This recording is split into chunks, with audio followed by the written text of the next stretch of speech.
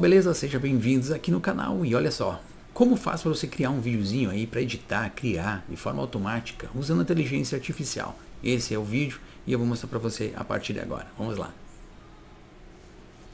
Antes de ir para a tela, mostrar para você o passo a passo, né? como, como fazer, o que utilizar também para isso, quero te convidar a se inscrever, tá? Clica ali no botãozinho se inscrever, logo abaixo te inscreve, não custa nada.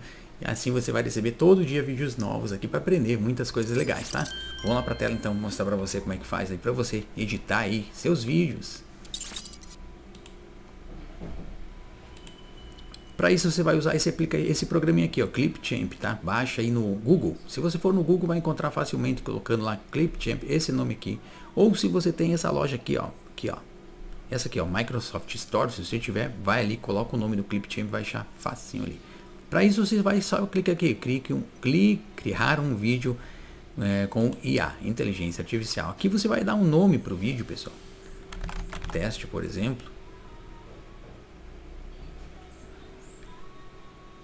Você vai colocar aqui outros, né? Se acaso nenhuma dessas desses tipos de vídeo se encaixa para você, você vai colocar aqui Instagram, uh, o que for. Eu, por exemplo, aqui ó, vídeo para o YouTube. Aqui você vai adicionar imagens, vídeos, filmes. Pode adicionar um vídeo, um filme, qualquer outra coisa. Vou adicionar esse videozinho aqui, por exemplo. Tá? E clicou em iniciar. Aqui pessoal vai carregar e você vai escolher um formato de vídeo que você quer, ó, vibrante por exemplo, é, um dinâmico, um dinâmico, clica aqui em avançar, aqui você simplesmente escolhe paisagem, clicou avançar, escolheu aqui ó, avançar novamente, clica em exportar,